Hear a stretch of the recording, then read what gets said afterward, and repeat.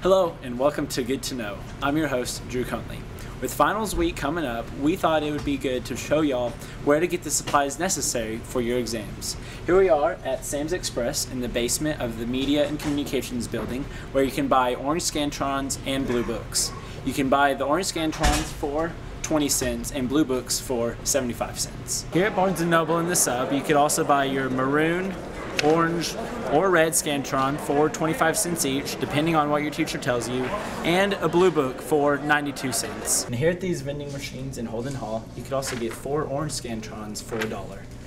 Now that I've shown y'all where to get the supplies for your exams, I went around asking students how they study for their tests and asked them if they had any tips for other students that maybe y'all can use during y'all's exams this week. Don't panic, keep calm, just study. If, listen to your teachers and tell them, they'll tell you what exactly to study for and just go through it calmly and just be patient with it and just study hard. Um, I would say use Quizlet because you know you can print them off, you can make it into a glossary, you can make them into note cards. It's online. It automatically makes them into tests for you and that kind of thing too. Uh, when I study for my exams or my finals, I like to actually uh, take my notes and instead of making like flashcards like I used to do in high school because there is so much information I start at the top and cover the answers underneath it with another sheet of paper and work my way through my notes. Well, it depends on the test, but usually I have to write things out and I just write them over and over and say them out loud. And don't give up right at the end because even the little bit of effort can mean the difference between one letter grade and the next one. You have no idea what that might look like. And basically, the only thing that most teachers and most professors do, they teach through the book. So going through the book and understanding the book more than understanding what he's saying is kind of my take on studying. And it's been working so far. I will say that it's been working so far.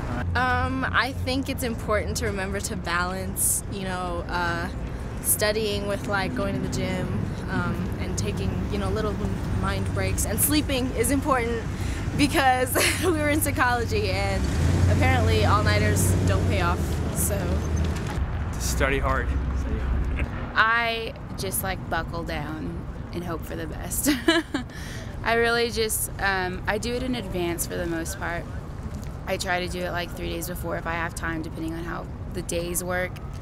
For my exams, typically, there's all variations. Everybody works a little bit different, but I usually don't study any more than a week in advance because I'll end up forgetting some of the material. So typically, what I do is two to three days before the exam, I'll really sit down and start going over it.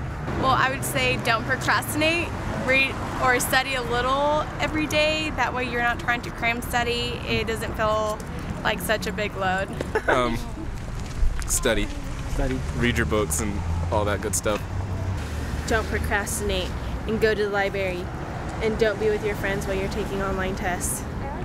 Do it as early as you can it just makes it easier, less cramming. I mean, you're going to end up cramming regardless, I feel like. So, I mean, you might as well get as much in as you can. And I would say no matter what, if you go over anything, whether you read it or go through and work the problems three times, then after the third time, typically you're pretty familiar with it and you should do pretty well in the exam. All right. So in review, be sure to buy your Scantrons and your Blue Books on campus, don't procrastinate, take frequent breaks when studying, and get lots of sleep. Hopefully, this information was good to know. Good luck on your finals.